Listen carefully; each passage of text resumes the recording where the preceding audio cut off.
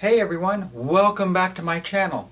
You know, things have been pretty crazy the last couple of weeks. Uh, I've been quite busy with taking care of the, the two girls and doing lots and lots of marking for the courses that I've been teaching this semester. But more importantly, you can probably see things are a little bit different uh, around here. I'm standing up, which is the first thing, and I'm speaking to a different camera uh, than what I normally would be. And that is because I have had some big, big issues with my PC. So I have a Dell desktop PC, and I'm going to see if I can turn this camera over to it. So normally this is where I, I would be filming, right? There's the mouse and keyboard and the um, monitor. And normally I'm filming there, and down below here is the PC, right? The tower.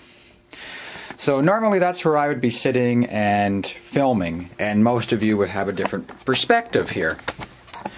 But because of some sort of disk drive failure with the PC, um, it has just not worked. So apparently there's a disk error and a um, uh, some type of, of motherboard issue as well. And so it's going to cost quite a bit of money to fix. Now, what's important for you guys to understand is this Dell PC has been around since 2007, so it's been a long time. And through that time, there's been upgrades and so on. You know, I've upgraded storage and, you know, uh, put some more RAM and things into it. But, you know, I, I knew eventually, at some point, I have to upgrade, and that perhaps this PC would eventually sort of die out on me. And it's exactly what happened. Uh, about a week ago, I was sitting here actually working on a paper that I'm trying to submit for publication when all of a sudden I heard a lot of rattling, and it sounded like the, the fan was having some kind of issue, and all of a sudden I smelled something like was burning, and the PC just went and turned off. And so it has been, it does go on. It just tells you that there's a lot of reboot errors and there's something wrong with the hard drive and something wrong with the disk format and there's also something wrong with the motherboard with all these different error codes and I was talking to one of my uh, friends who knows more about PC hardware than I do. So it looks like I'm going to probably have to get another PC at some point.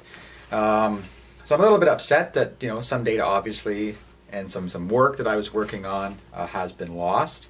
Luckily for me, I do have a external hard drive that I have been updating uh, and putting as much as I can on it um, when I when I remember to, to back up my stuff. So first off, let that be a lesson. Always back up things, you know, because I probably lost uh, about a good month's worth of stuff because I haven't backed it up. So always remember to back up your stuff.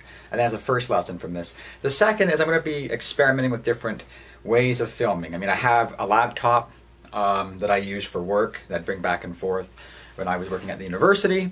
So I'm using that to do most of the writing and things um, there. Um, and I tried some film with that the other the other day, and you might see that. And so it's a little bit reduced quality to what I'm used to because even my filming program that I use to edit some of this stuff and is on the big PC here. So, so yeah. So I'm just experimenting with new things um, in the short term until I can get a fix, a more permanent fix.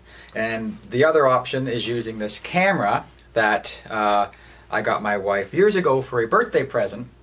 And it has actually pretty good uh, film quality on here. So I might end up using this as my method uh, of filming. But that means I'll be standing up, so you'll have a little bit more animation uh, with me.